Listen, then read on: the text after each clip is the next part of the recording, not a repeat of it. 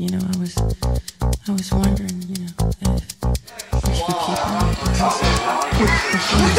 Oh!